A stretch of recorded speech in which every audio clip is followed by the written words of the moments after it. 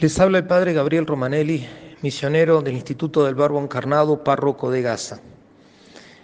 El Evangelio de hoy es tomado de San Lucas, capítulo 11, y dice así. En aquel tiempo la gente se apiñaba alrededor de Jesús y él se puso a decirles, esta generación es una generación perversa, pide un signo, pero no se le dará más signo que el signo de Jonás. Como Jonás fue un signo para los habitantes de Nínive, lo mismo será el Hijo del Hombre para esta generación.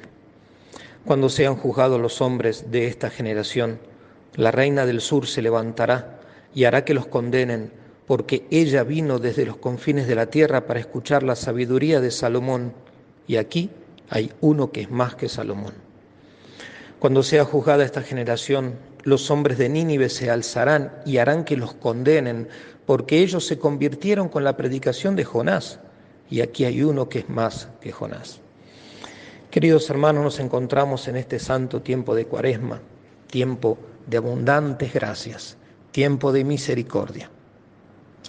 Nuestro Señor Jesucristo no tiene miramientos con nadie y Él dice lo que tiene que decir, lo que Él sabe que es lo mejor para la gloria del Padre, la conversión y la salvación de las almas.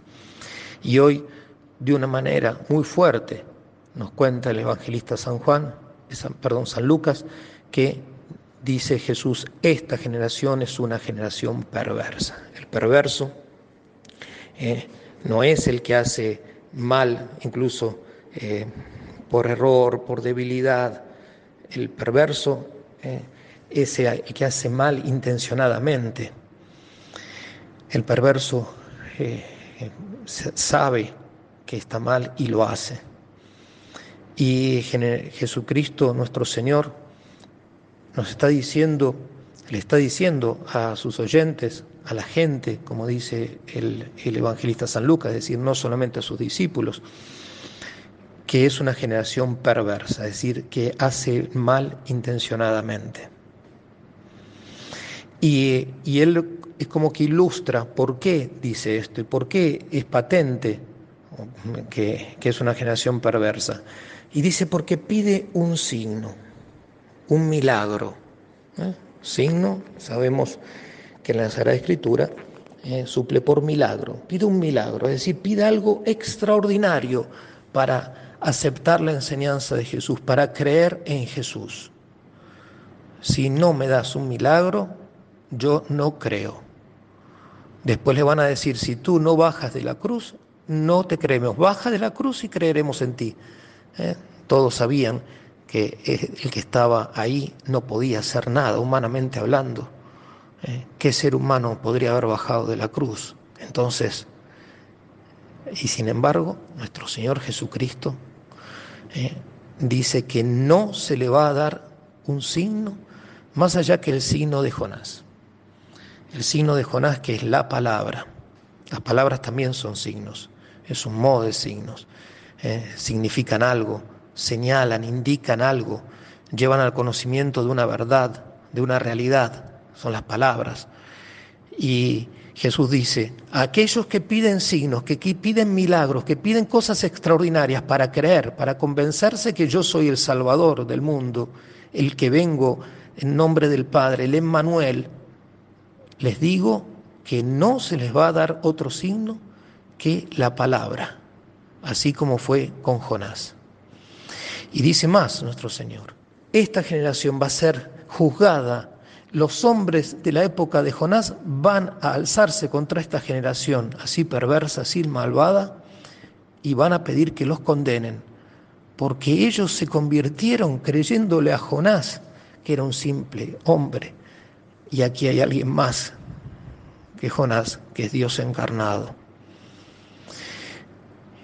Y ilustra nuestro Señor Jesucristo la primera afirmación de que esta generación es perversa, trayendo también otra historia, todo esto es histórico, lo que pasó tanto con Jonás como la reina del sur, la reina de Saba. Y dice que la reina de Saba se levantará y harán que los condenen a esa generación, porque ella vino desde los confines de la tierra, miles de kilómetros hizo para llegar a Jerusalén ¿Y para qué hizo eso? Para escuchar la sabiduría de Salomón. Y aquí hay uno que es más que Salomón. Sabiduría eh, famosísima, la de Salomón, eh, un gran profeta.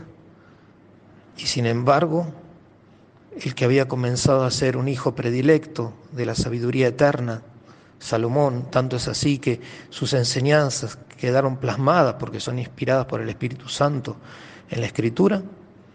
Sin embargo, la misma Sagrada Escritura nos dice que al final de los tiempos su corazón se pervirtió porque vivía mal.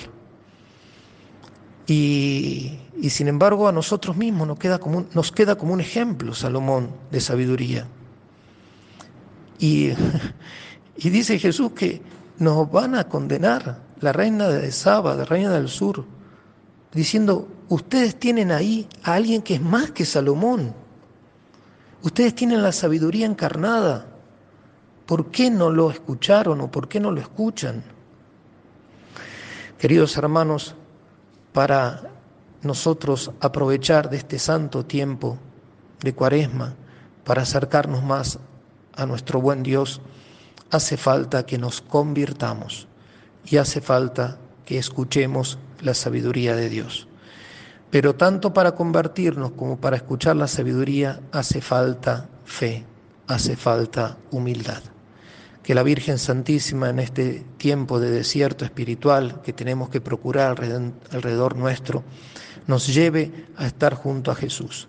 Que ella nos enseñe a descubrir nuestras tendencias malas, nuestros defectos consentidos, nuestros pecados veniales, nuestros pecados mortales, toda la cantidad de cosas malas que haya, y que nos lleve ella, sede de la sabiduría, a escuchar, a escuchar siempre la voz de su Hijo, que busca el bien para nosotros y el bien para todos, ya que Él es el Dios bueno, el Dios eterno que se hizo hombre para salvarnos.